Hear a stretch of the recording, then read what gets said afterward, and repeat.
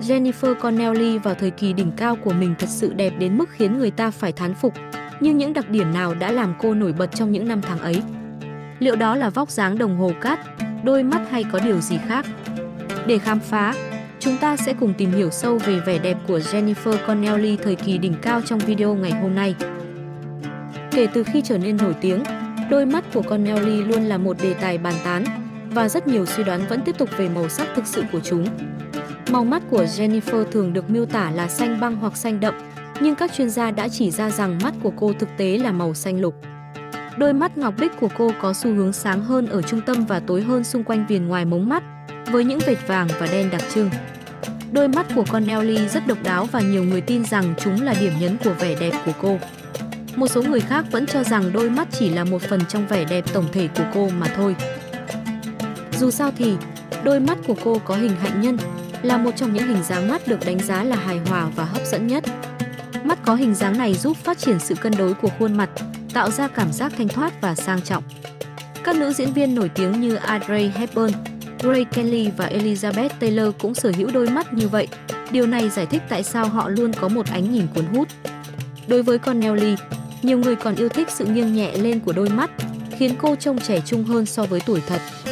Một ví dụ điển hình về sự ảnh hưởng của đôi mắt con Nelly có thể thấy trong bộ phim Top Gun Maverick năm 2022. Lúc ấy, Jennifer đã 52 tuổi và theo chuyên gia trang điểm nổi tiếng Nam Tanis, họ đã làm mọi thứ để mang lại vẻ ngoài tươi trẻ kiểu California cho con Nelly, trong đó đôi mắt là điểm nhấn quan trọng. Tanis chia sẻ rằng cô đã sử dụng phấn mắt trung tính và bút kẻ mắt màu vàng để làm sáng đôi mắt của con Nelly. Điều này dễ dàng tôn lên làn da sáng mịn của cô mà không quá lấp lánh. Cuối buổi phỏng vấn, Tanis cũng thừa nhận rằng cô đã sử dụng kem nâng cơ mắt cho Jennifer trong phim. Không nhiều người nhận ra, nhưng khoảng cách giữa đôi mắt của Jennifer thực sự phù hợp với nguyên lý tỷ lệ vàng, và đó cũng là một lý do khiến đôi mắt của cô trở nên biểu cảm đến vậy. Mặc dù tỷ lệ vàng đã từng bị chỉ trích là một tiêu chuẩn không chính xác khi đánh giá vẻ đẹp khuôn mặt vì không tính đến tất cả các đặc điểm, nhưng với con Nelly, tỷ lệ vàng 1618 lại rất ăn khớp. Vị trí và kích thước đôi mắt của cô làm cho khuôn mặt trở nên cân đối, và đó là những chi tiết tinh tế tạo nên vẻ đẹp của Jennifer Connelly trong những năm tháng đẹp nhất. Một đặc điểm nổi bật khác làm tăng thêm sự hài hòa cho khuôn mặt của Connelly chính là chiếc mũi của cô, và dưới đây là lý do tại sao mọi người lại thấy nó thu hút đến vậy. Mũi của Jennifer là một hình dáng tự nhiên, không phải phẫu thuật thẩm mỹ. Các chuyên gia tiết lộ rằng sống mũi của cô gần như thẳng và hơi hẹp lại, dẫn đến phần chóp mũi không quá nhọn cũng không quá tròn, tạo thành một chóp mũi hoàn hảo. Mũi của cô hòa quyện một cách tự nhiên với sự hài hòa của khuôn mặt, là một yếu tố quan trọng trong việc tạo nên sự nữ tính cho gương mặt. Tuy nhiên, khi con Nelly lớn lên, đã có nhiều tin đồn về việc cô đã phẫu thuật mũi hay nâng mũi. Người ta thường chỉ ra sự thay đổi nhẹ của chiếc mũi qua các giai đoạn sự nghiệp của cô và cho rằng không thể có một chiếc mũi hoàn hảo như vậy mà không cần phẫu thuật. Những suy đoán này bắt nguồn từ việc so sánh kỹ lưỡng giữa diện mạo của con Nelly trong những ngày đầu sự nghiệp và hình ảnh hiện tại, khi phần sống mũi và chóp mũi có sự thay đổi nhỏ. Tuy nhiên, nữ diễn viên vẫn tiếp tục bỏ qua những câu chuyện này và có lẽ đó là lý do vì sao những đồn đoán này vẫn chưa thể dập tắt được. Một đặc điểm thú vị khác về chiếc mũi của con Nelly là sự cong nhẹ nhàng, đặc biệt khi nhìn nghiêng. Sự chuyển tiếp từ sống mũi đến phần chóp mũi được mô tả là rất mượt mà, không có các góc cạnh hay gồ ghề, tạo ra sự trật tự cho khuôn mặt. Chiều rộng của mũi tại phần lỗ mũi cũng được cho là hoàn toàn khớp với khoảng cách giữa đôi mắt của cô, một yếu tố quan trọng khi đánh giá sự đối xứng của khuôn mặt. Sự tỷ lệ hoàn hảo này giúp mũi của cô không quá nổi bật, để không làm lu mờ các đặc điểm khác như mắt và môi. Với tất cả những đặc điểm trên, Jennifer Connelly đã khiến nhiều người ngưỡng mộ không chỉ vì vẻ đẹp sắc sảo mà còn vì sự tự nhiên và hài hòa trong các đường nét trên khuôn mặt của mình. Nhìn nghiêng, sự nghiêng nhẹ của chiếc mũi cùng với độ hẹp của sống mũi tạo ra một cảm giác mạnh mẽ về vẻ đẹp mềm mại và nữ tính. Các chuyên gia cho rằng đây là một đặc điểm tuyệt vời đối với phụ nữ vì nó thể hiện sự tinh tế mà không quá yếu đuối. Một trong những điều kỳ diệu về chiếc mũi của Jennifer Connelly trong thời kỳ đỉnh cao và có lẽ là điều bị bỏ qua nhiều nhất chính là sự tương thích của nó với các đặc điểm khác trên khuôn mặt của cô. Mũi của cô hòa hợp hoàn hảo với chiều dài và chiều rộng của xương gò má và đôi môi. Nhiều bác sĩ phẫu thuật thẩm mỹ nổi tiếng thường bắt đầu quá trình tái cấu trúc khuôn mặt bằng cách chú trọng vào các bộ phận nổi bật nhất, vì chúng thường rất khó bỏ qua và có thể phá vỡ sự hài hòa và cân đối của khuôn mặt. Khuôn mặt thường được chia thành 3 phần ngang, phần đầu tiên từ đường chân tóc đến lông mày, phần thứ hai từ lông mày đến gốc mũi và phần cuối từ gốc mũi đến cằm. Một khuôn mặt hoàn hảo thường dễ nhận diện khi chiếc mũi nằm ở giữa phần thứ ba của khuôn mặt và không quá nổi bật hay quá nhỏ. Đó chính là Jennifer Connelly.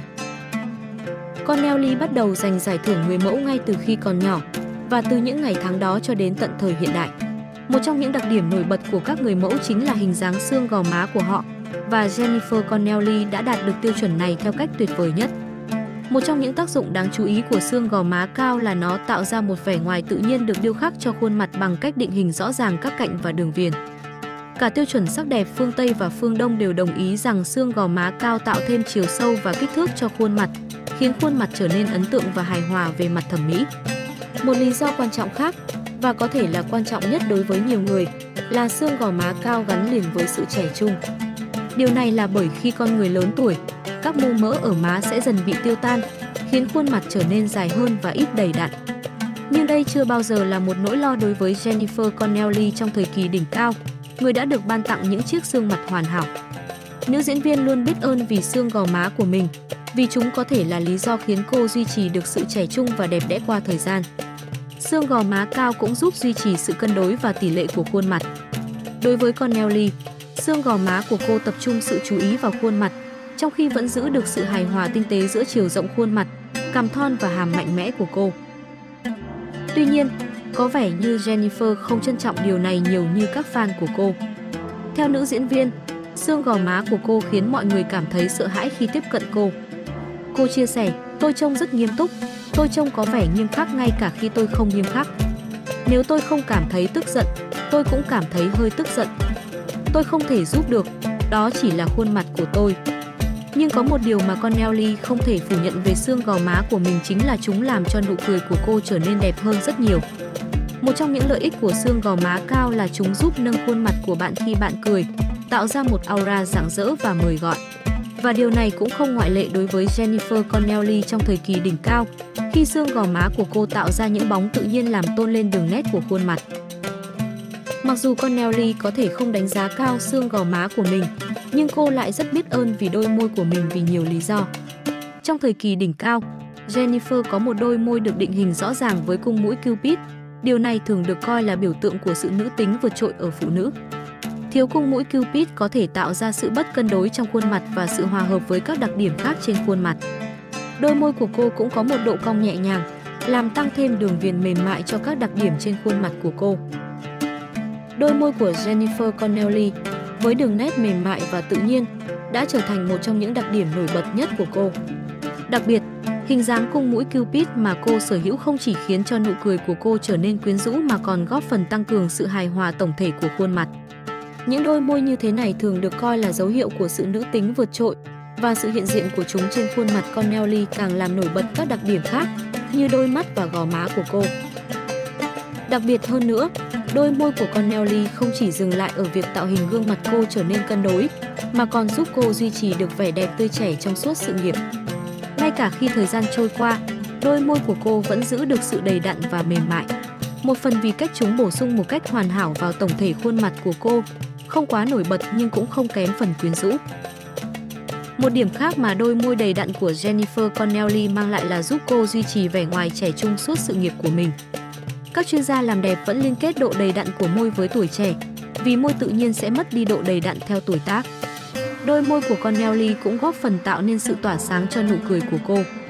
Khi cô cười, đôi môi mở ra tạo thành một đường cong đầy đặn và tự nhiên, điều mà nhiều người thấy vừa ấm áp vừa mời gọi. Dĩ nhiên, khuôn mặt của Jennifer Connelly có thể sẽ bị mất cân đối nếu đôi môi của cô không phù hợp với các đặc điểm khác. Tuy nhiên, Môi trên của cô được cân đối hoàn hảo với mũi và các yếu tố còn lại trên khuôn mặt. Nó cũng tạo ra sự cân bằng lý tưởng với môi dưới mà không quá mỏng hoặc quá dày. Đôi môi đầy đặn sẽ luôn là một trong những đặc điểm hấp dẫn nhất ở phụ nữ và trong thời kỳ đỉnh cao. Jennifer Connelly sở hữu đôi môi với độ dày hoàn hảo, mang lại sự quyến rũ vừa tinh tế lại mạnh mẽ. Bạn có thể dễ dàng nhận thấy điều này trong các bộ phim như Rocketeer, Career Opportunities, Dark City, và House of Sun and FOG, cùng nhiều bộ phim khác. Tóc của Jennifer Connelly là điều mà nhiều người coi là điểm nhấn hoàn hảo cho vẻ đẹp của cô. Connelly đã thử nghiệm nhiều kiểu tóc khác nhau trong suốt sự nghiệp và mỗi kiểu tóc đều dường như phù hợp hoàn hảo với cô. Một trong những lý do khiến tóc của Jennifer Connelly thu hút sự chú ý là vì kết cấu tự nhiên bóng mực của nó. Tóc của cô luôn trông khỏe mạnh và đầy đặn, với những sắc thái đen và nâu bổ sung cho làn da sáng và đôi mắt xanh đậm của cô. Sự tương phản sắc nét này tạo ra một hiệu ứng hoàn hảo, thu hút mọi sự chú ý vào khuôn mặt cô. Trong một cuộc phỏng vấn, nữ diễn viên đã chia sẻ một khoảnh khắc dễ bị tổn thương khi một nhân vật yêu cầu cô thay đổi kiểu tóc dài đặc trưng của mình. Đây là một quyết định khó khăn, nhưng bộ phim đó đã giúp cô có thể quyết định điều mà cô đã đắn đo trong suốt hơn 15 năm. Theo nữ diễn viên, cô luôn muốn cắt tóc ngắn nhưng sợ rằng điều đó sẽ làm hỏng khuôn mặt mình. Cô đã tìm thấy can đảm trong bộ phim Cry Fly vào năm 2015 khi các đạo diễn yêu cầu cô cắt đi hơn 30cm tóc. Connelly đã chia sẻ rằng cô cảm thấy ổn khi lần đầu nhìn thấy kiểu tóc mới, nhưng sau 3 ngày, cảm giác hối hận đã bắt đầu. Cô tỉnh dậy một sáng và tiếc nuối mọi thứ, nhưng trong cùng cuộc phỏng vấn, cô cũng nói rằng mình đã vượt qua điều đó. Tuy nhiên, Jennifer vẫn có chút e ngại khi cắt tóc ngắn, vì theo cô, nó cần phải bảo dưỡng nhiều hơn. Jennifer Connelly trong thời kỳ đỉnh cao cũng là một phụ nữ tự nhiên với những đường cong tuyệt vời ở những nơi phù hợp. Nữ diễn viên đã tận dụng điều này bằng cách chọn những bộ trang phục tôn lên vòng eo và làm nổi bật tỷ lệ cơ thể của cô. Mọi người cũng ngưỡng mộ rằng Jennifer Connelly là một người hoàn toàn tự nhiên. Có nghĩa là cô không cần đến các cuộc hẹn với bác sĩ để trông đẹp như vậy một điều càng ngày càng hiếm gặp trong ngành công nghiệp hiện nay.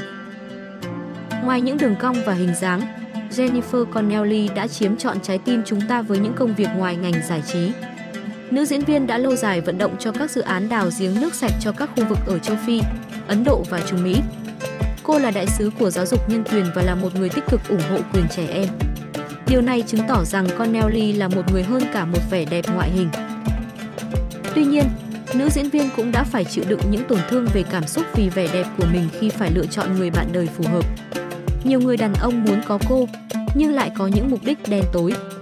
Connelly đã chịu đựng một trái tim tan vỡ sau khi chia tay với bạn diễn Billy Campbell. Sau đó cô có con với nhiếp ảnh gia Dave Dugan trong một mối quan hệ ngắn ngủi.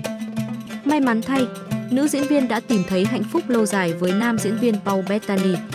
Họ kết hôn vào ngày 1 tháng 1 năm 2023 và vẫn ở bên nhau cho đến nay.